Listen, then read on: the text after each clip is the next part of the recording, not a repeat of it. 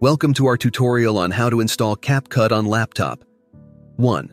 Visit CapCut.com and click the download button for Windows.